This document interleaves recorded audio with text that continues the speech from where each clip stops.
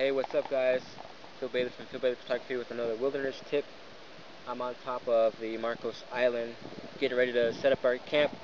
Now one of the things I wanted to say was that there's no fresh water whatsoever. There's no stores. We had to bring everything here. So we have like a big thing of water down there.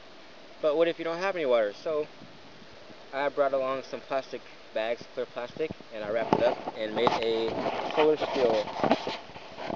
And this is my results first solar still, you can see the little condensation right there. But then, if you look to the bottom, you can see that accumulation, and at three hours time, got some weight there. And so, uh, you know, in a survival situation, you could definitely get some water there.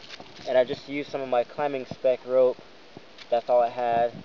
And I tied it really tight around a limb and that's what I got and then you just make the water drops fall to one point.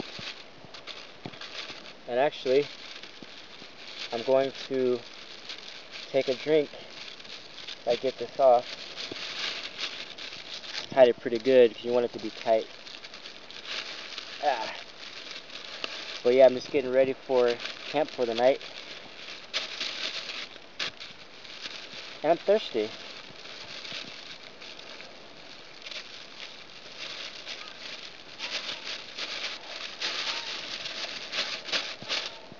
we go.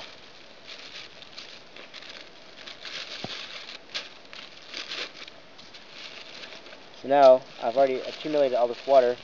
I'm going to be very careful. I take it off there. you can still see there all that water that accumulated. Now it's time to get me a drink. So that's all the water there. Got a little bit of pieces of dirt in there, but that's just from the trees, but that's definitely a little sip. Then, the bag smells like the tree or whatever, but it should be all fresh.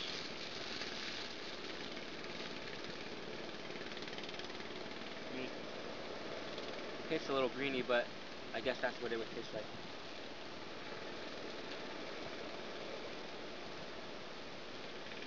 So yeah, there you go. Solar still. All you need is a piece of plastic and something to tie it off with.